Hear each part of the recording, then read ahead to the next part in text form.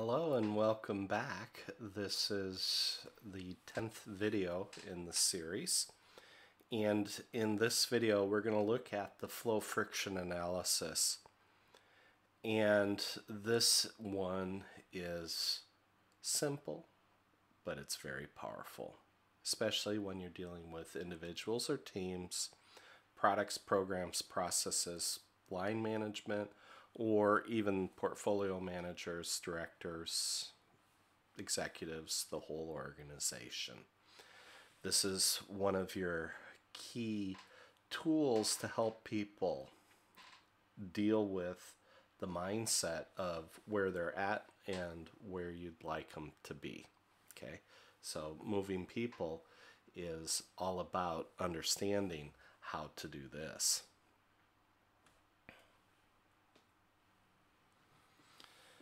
We're going to get back to that picture in just a couple of minutes, but we're going to look at the friction analysis. And again, it's part of the flow formula where you have vision plus right people plus 4D, uh, which is define distill deliver and drive, and equals flow and success. And now we're going to apply these into the four lenses. So individual, team, product, program, process, line management, portfolio, executive, and the whole organization. I love this quote from Peter Drucker. Only three things happen naturally in organizations friction, confusion, and underperformance. Everything else requires leadership. And that's the whole idea behind flow is it's not enough to just be good managers. You need to understand leadership, the language of leadership, and how to be good leaders, regardless of where you're at in the organization. For the organization to step into flow, you need really good leaders and leadership. So here's the flow friction analysis. And I'm not going to go into the depths of the of the formula again. We just did that in the last video. So I'm going to focus on this part of the um, friction analysis where line by line we're going to go through this. If you don't have the right vision, you probably got anarchy going on in your teams and organization. If you don't have the right people on the team, I can guarantee you, you're going to have some anxious team members who are staying awake at night going, oh boy, uh, you know, this person or that person, they're not the right person for our team, and it's going to make our lives miserable. If you don't have the right definitions, you'll definitely have confusion. And if you see politics rearing its ugly head in the organization, I will guarantee you that they have not distilled agreement among the stakeholders about the definitions. Okay. And so if you've got politics, then that's going to really hinder and impede your ability to deliver. If you don't have the ability to deliver, you're going to have chaos. And if you don't have the ability to drive, you really risk splitting into division or into multiple visions because division in English literally means two visions. So let's go back to the anarchy statement. Uh, do you remember the proverb I shared with you that uh, where there's no vision, the people cast off restraint? That's basically anarchy as a definition. And we see that happening in the world right now where you have two very uh, two opposing worldview views and visions about how the world should look. And because of that, they're they're not coming together to try to create a unity. They're pulling apart. And we're seeing a lot of anarchy in the streets, literally, where people are uh, burning down buildings and looting and just going nuts, basically. And I don't think that's the vision that anybody has for the world in which we want to live, uh, not from either side. And so we need to have a much more clear vision on what does the world look like that we want to live in.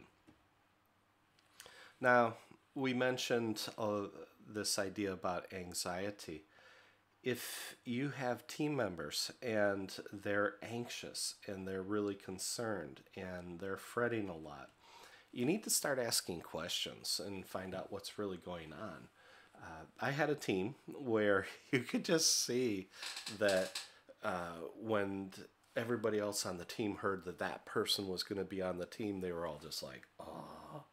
And you could just see all the motivation. It just went, and you just knew that, oh boy, this is going to be a uh, an issue. And at first, it wasn't a problem because the team members were covering for each other. And one of the other team members was covering for this person really well. But then this one person, they got pulled off into another project, and this person just bubbled to the top as an issue. And in the end, they they decided to take themselves out off the team by literally leaving the company. I guess that this had happened multiple times, and this was pretty much this person's last chance to try to make it as a team member in that organization. But the anxiety level and the discouragement level it created on the other team members, it was, you could just see the actual impact that that had. And later, as they were going through the iterations and sprints, eventually it, it became very clear that that one person it was like the old golf golfing joke where uh, somebody said, "Hey, you know, uh, this guy comes into the clubhouse and he's just sweating and he's out of breath," and they said, "Hey, what happened?" He goes, "Yeah, well, me and Joe, we were out on on uh, doing our 18 round uh, hole round of golf, and on the ninth hole, Joe died." And they said, oh, that's terrible. What happened then? He said, well, after that was hit the ball and drag Joe, hit the ball and drag Joe. And so he had to drag him with for the next nine holes. And for a team that's not working, it can feel exactly like that. It's almost like weekend at Bernie's or something like that. And so that's just going to create an incredible level of anxiety. So if you're the leader and you're trying to get a product through the system and uh, the concept, create, and deploy, going through all those phases to get it out to the customer, and you're seeing anarchy, that's not a nice environment to be in. Uh, we'll get to another example of just how hard that was for a company when we get down to the deliver part down there at Chaos. But if you've got team members who are anxious or you detect that anxiety, you can start to ask questions and you can start to do root cause analysis. Use 5Y, use the 4R model in reverse, use the 4D model in reverse. Those are really good root cause analysis tools to help you identify quickly what is the source of this anxiety. It's going to be pretty evident, but in case it's hidden like it was with that one team, and then that person got pulled away, and the other person bubbled up as the issue, then you know you just have to be constantly on your guard and watching for things like that. What's really interesting is uh, in every project, without fail, as you're going through the four Ds, as you're doing definitions, distill, deliver, and drive, and coming back as you come around the curve there, there's without exception, as you're delivering, I, I haven't had a project or a product development uh, effort in the last 25 years where somebody hasn't come in and said, Oh, cool, this is what you guys are doing. Oh, what's this all about? Oh, um, did you think about this? Or they say, or they'll say, Oh, by the way, anytime you hear that, that's a little red flag to tell you that, oh boy, we're going to get some new definitions. So, because of that, you need to be constantly listening for any kind of definition where it's creating confusion or any new definition that's literally forces you to go through the iterative process for the leadership part because now you have a new project or you potentially a new project. I had a CEO come to me and say, Hey, Andrew, we need to make this one small change. And I said, Mr. CEO, that's really interesting. What's this change about? Asked a bunch of questions. I said, Hmm, let me take that to the team and let's see what that's going to cost. So we went back to the team. We said, This is what this Mr. CEO would like to have. And we said, Oh, 1.2 million euros on a $400,000 project. Went back to Mr. CEO and said, That's a great idea. It's going to cost you this much. He looked at me and he went, Keep going with what you're doing. so, uh, you know, you're going to get these kinds of things thrown at you continually by the stakeholders. And they're not doing it to be mean. They're just they're just like, "Oh, that's a great idea. Let's see if we can do that." But then when they find out the cost benefit and what the economic trade-off is cuz I, to, I told the CEO, I said, "Look, if you do that, and we do this one, it's going to cost you three times as much. Plus, you don't get what we were working on. And he went, Oh, well, no, we need what you're working on. We need that first. It's like, okay, then we'll continue to go. And so, anytime you detect confusion, if somebody says, Well, you know, I really don't understand this item in the backlog, man, you better be looking at that really quickly and going, Ooh, that's going to be a friction point. And you need to be able to step up and intervene with the team and use it as a coaching moment and a teaching moment and a mentoring moment for that team to help bring them up the curve. The politics one, if you don't distill agreement and you don't have agreement, it's going to be uh, a massacre. We're going to see that in an, in another uh, picture that comes from again from a real live uh, effort that we were doing a rollout, and it just so elegantly uh, paints the picture of if you don't have that agreement. This is the mistake that a lot of executives make over and over again. They inform and then they expect the team to act. And there's a whole lot of steps in, in between that have to happen before that action's going to occur. And so if you inform and you expect action and then nothing is happening, then that's when the executives start getting heartburn. Well, that's because they missed a whole bunch of steps in between, and we'll talk about that using the 4D model again on how to fix that. One of the worst things I've ever seen on delivery was a company I worked with uh, many years ago. and the CEO's idea of getting the new release out the door, and this was a big platform, was to lock 80 developers in a room for the weekend from Friday night to Monday morning. Literally lock them in and have everybody yelling at each other trying to get the next release completed as they're going to take it to market. And at the end of the two and a half, three days over that weekend from Friday night to Monday morning, they would release something and then they would spend the next three months fixing all the bugs that they just created from that release.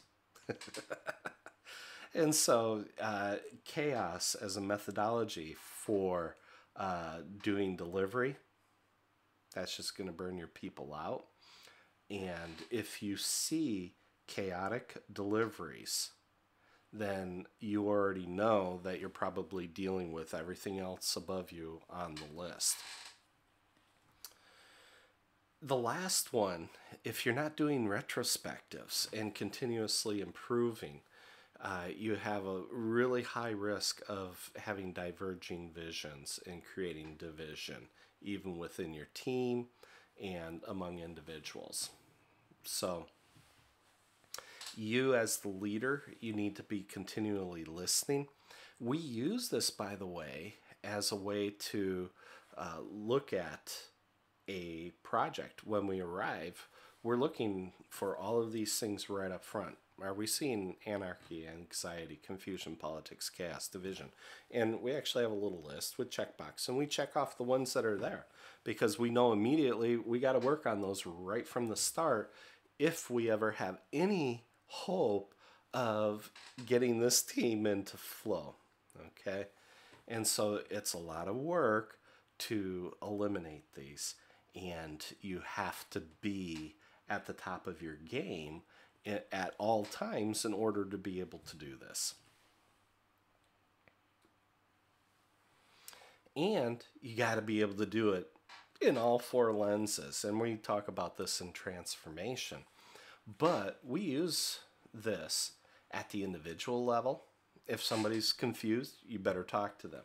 We do it at the team level. If they're not able to deliver, we use this analysis we look at it from the product level. Do they actually have the real definitions from the customer? Is the customer embedded with the product owner? Is the product owner actually the voice of the customer or are they just a proxy? And so if we see things like that, we know we have to fix it. And then the vision part coming from the organization, you have vision in all four boxes. But if this one's messed up, I'll guarantee you that the other three boxes are messed up because you can't touch one box without impacting the, the other three. And that's just how it works. And so, if you want to have any hope of having a unified vision throughout the organization, you better use the flow friction analysis and all the other tools that we provide you about vision in order to make sure that you are able to quickly detect these. Now, Agilists aren't taught this analysis tool and they're not taught the difference between the two right hand boxes and the two left hand boxes. And Agilists love working with the teams and individuals, but they hate the politics that pops up routinely over here on the right hand side. And you know, a lot of people look at politics and just say, well, it's a blood sport. I'm not interested in politics. And and that's a defense and coping mechanism. So if you see people who are not politically astute uh, trying to get things done without being able to mitigate the politics or eliminate the politics using the tools that we provide, it's going to be really painful. So, we went through vision, right people, the 4D model, uh, how to apply these to the four lenses. Uh, we've talked about the four whys uh, previously, especially in the uh, uh, product box. And you can use uh, the friction analysis with the four whys as well. You know, is our vision to make money, reduce costs, get rid of or mitigate risk, or do the right thing. And so by applying those to the four lenses as well, you have a better chance of eliminating the, fr- the friction that you're going to be up against.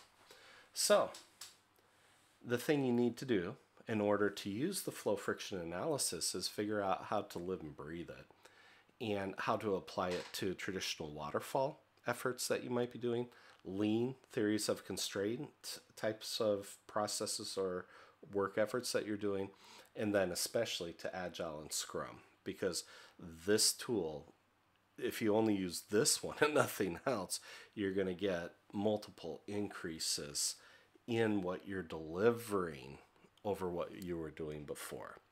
So again, you got to take it out of the book, out of the videos, out of the blog posts, and actually start to use it. And we actually have uh, in the Flow Coach, uh, the Flow Certified Coach series, you're going to hear from some of the coaches how they apply this. And you're just going to go, oh, okay, I really get this now. Uh, it's great to hear about it from me but it's even more powerful to hear about it from the voices of flow from other flow practitioners who are actually doing this.